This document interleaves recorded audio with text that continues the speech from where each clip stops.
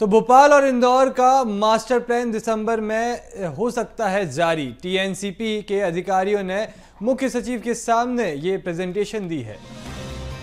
तो बड़ी खबर भोपाल से, जहाँ पर भोपाल और इंदौर का मास्टर प्लान दिसंबर में जारी हो सकता है। टीएनसीपी के अधिकारियों से मुख्य सचिव ने, के सामने ये प्रेजेंटेशन दिया है। प्रेजेंटेशन में डेडलाइन भी ज़िक्र किया गया है जो दो तक ज़रूरतों के हिसाब से बन रहा है राजधानी का मास्टर प्लान।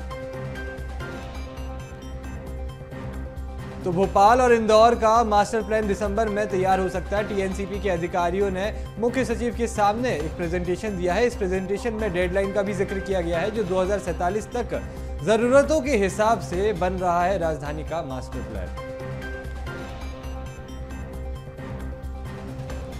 तो टीएनसीपी के अधिकारियों के ने मुख्य सचिव के सामने ये प्रेजेंटेशन दिया है, जिसमें उन्होंने डेडलाइन का ज़िक्र किया है। दो हज़ार सैंतालीस तक ज़रूरतों के हिसाब से बना रहा है राजधानी का मास्टर प्लान तो इसी खबर पर और जानकारी के लिए मेरे साथ मेरे सहयोगी मनोज जुड़ चुके हैं।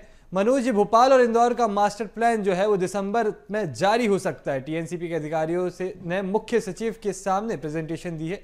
इस पर क्या जानकारी?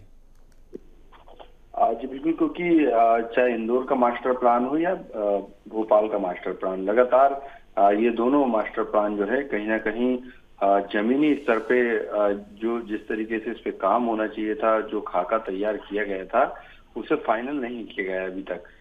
कई सालों पहले भी इसको लेके प्रयास किए गए थे, कई बार फाइनल किया गया था, लेकिन कई आपत्तियाँ इस पर भी दर्ज की गई। राजधानी भोपाल की बात करें तो कैचमेंट एरिया में कई बड़े अफसरों के, नेताओं के फार्म हाउस थे इस वजह से भी कई दिक्कतों का सामना जो है अधिकारी को करना पड़ा टीएनसी को करना पड़ा। यही कई कारण थे जिसके कारण मास्टर प्लान पिछले साल भी नहीं आ पाया।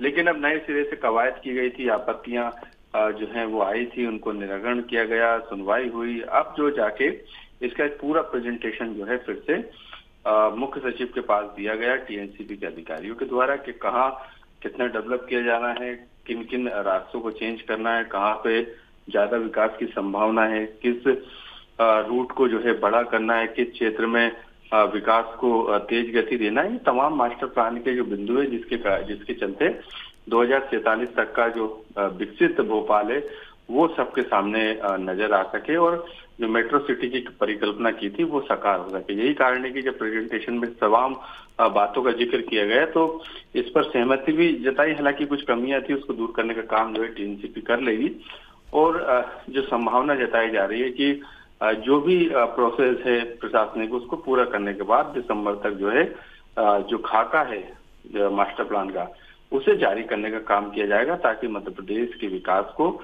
राजधानी के विकास को रफ्तार मिल सके। जी, आप बने रहिए हमारे साथ।